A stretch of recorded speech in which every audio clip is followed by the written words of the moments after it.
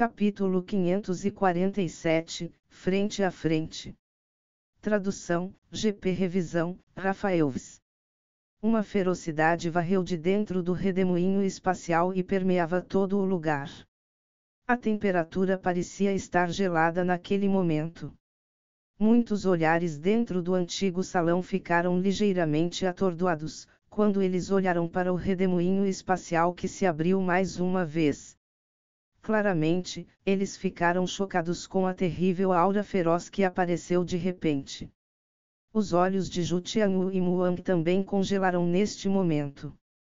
Eles imediatamente olharam para o redemoinho espacial enquanto a expressão brincalhona em seus rostos de antes foi reduzida ligeiramente. Estando de posse de tal aura, era provável que essa pessoa não fosse como aqueles cavalos pretos iniciantes que eles conheceram antes, que se tornaram fortes durante a noite confiando em tesouros. Uma figura extremamente forte emergiu lentamente de dentro do redemoinho espacial sob o foco de inúmeros olhares. Depois disso, a figura avançou e apareceu na frente de todos, acompanhada por uma aura feroz que a envolvia.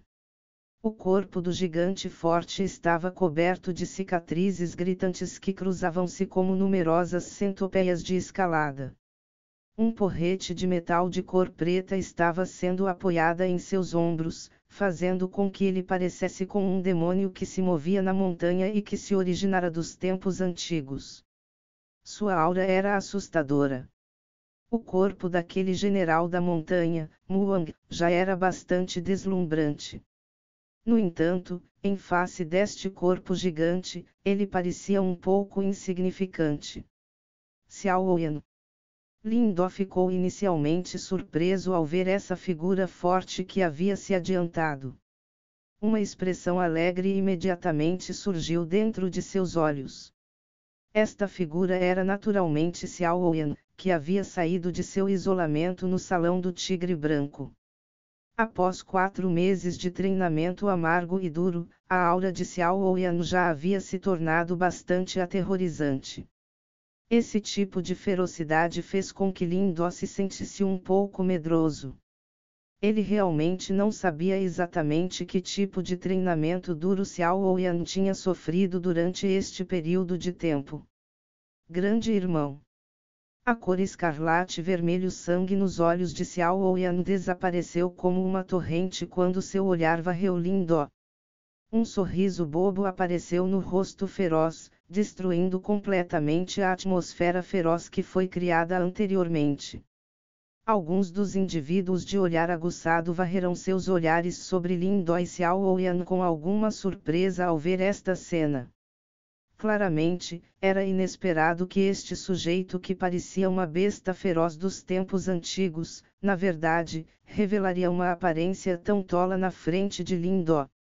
O pequeno Martin de lado cruzou os braços sobre o peito, enquanto olhava para Xiao Oyan com grande interesse.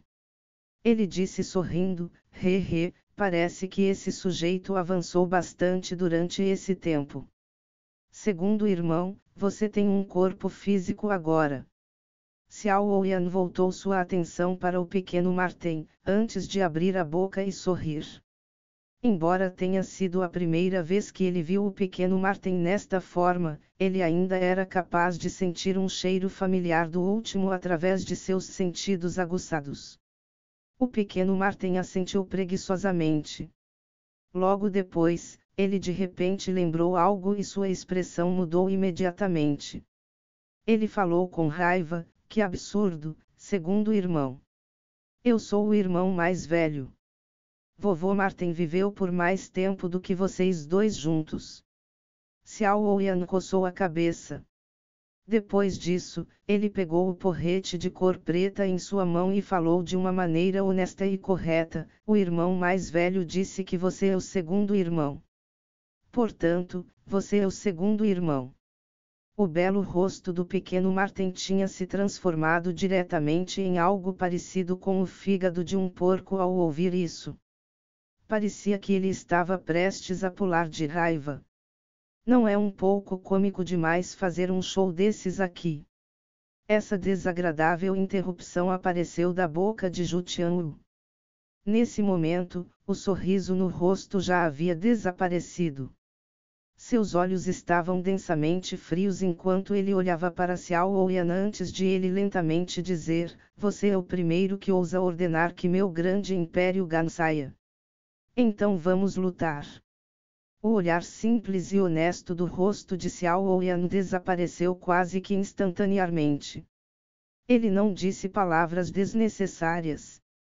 O porrete de metal em suas mãos emitia um assobio enquanto rasgava o ar antes de apontar diretamente para Tianyu. Imediatamente, uma aura feroz mais uma vez explodiu de dentro de seu corpo.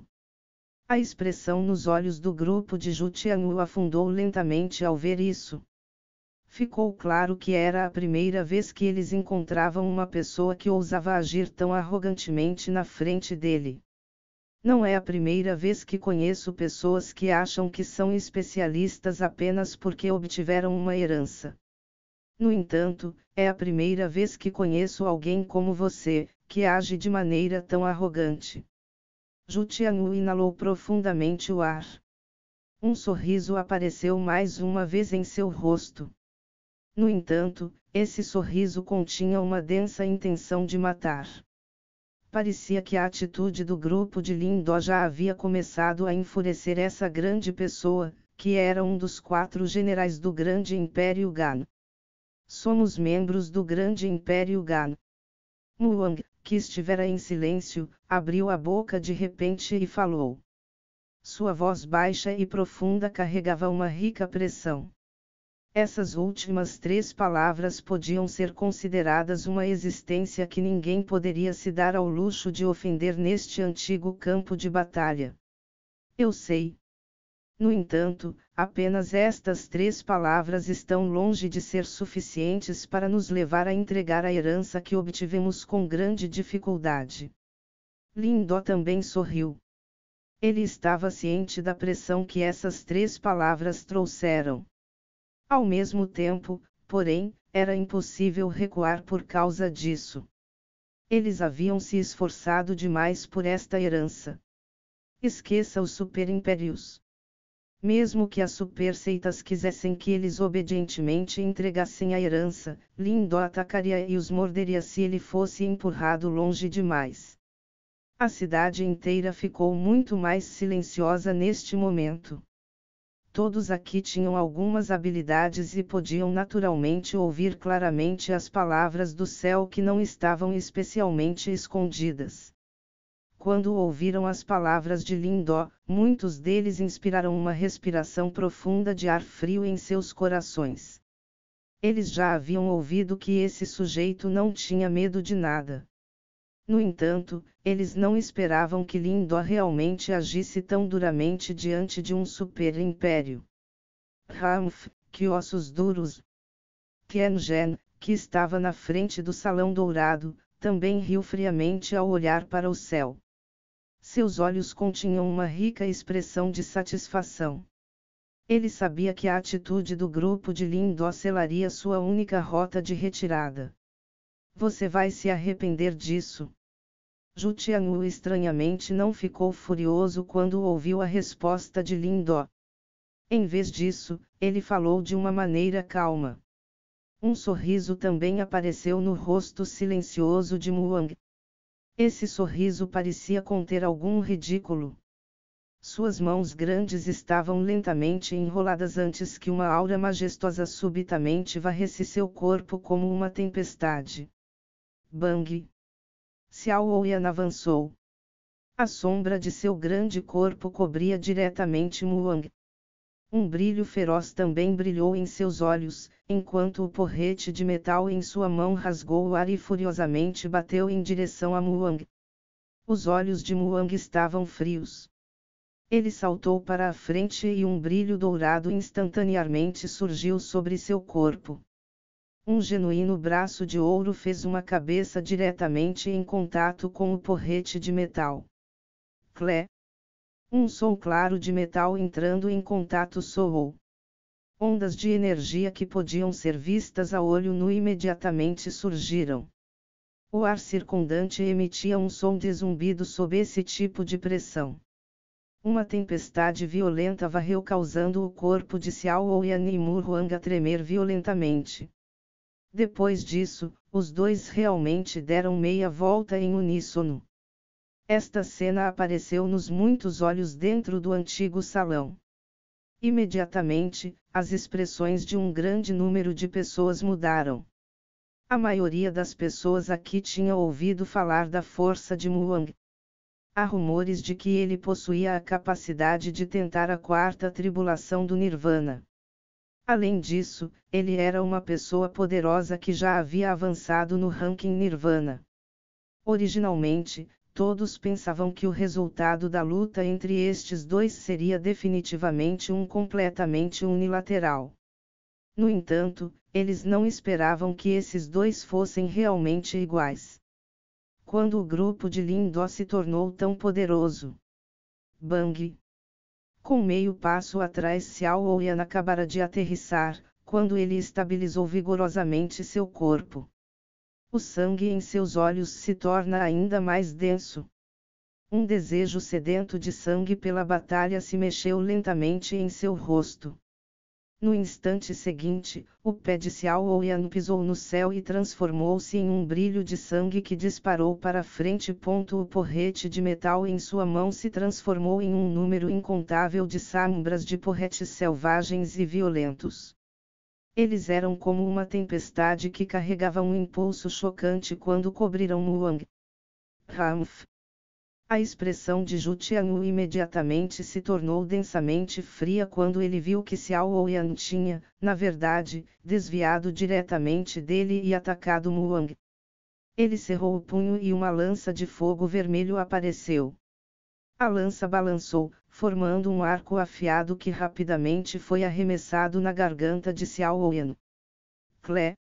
No entanto, pouco antes do ataque de Ju Tianyu estar a 3 metros de distância de Xiao Ouyan, um resplendor frio correu e atingiu diretamente a ponta da lança. O corpo de Lin Do também apareceu na frente de Ju Tianyu ao mesmo tempo. Permita-me ser seu oponente. Você não deve interferir na batalha deles. Lindó segurou a lança de osso do crocodilo celestial antigo em sua mão e falou suavemente. Ele olhou sorrindo para Ju Tianyu, cujos olhos lentamente se tornaram sombrios e sulins. Você tem certeza de que tem as qualificações? Ju Tianyu olhou para Lindó. O sorriso no canto da boca mostrou gradualmente traços de ferocidade. Lindó sorriu. Sem dizer mais nada, ele levantou lentamente a lança de osso do crocodilo celestial antigo em sua mão. Ele apontou o dedo para Jutianyu no horizonte. Essa provocação era algo que precisava dizer. Você é uma pessoa no ranking Nirvana. Eu possuirei a qualificação para avançar no ranking Nirvana se eu derrotar você. A raiva no canto da boca de Jutianyu tornou-se cada vez mais densa. Ele não tinha mais a mesma aparência casual de antes. Essa onda assustadora se espalhou lentamente pelo corpo dele. Sua voz sinistra ressoou sobre este antigo salão. Você pensa demais. Uma pessoa morta não terá qualquer qualificação. O coração de todos foi abalado quando a intenção de matar de Ju Tianyu se tornou mais densa. Eles sabiam que Ju Tianyu não deixaria este assunto descansar hoje.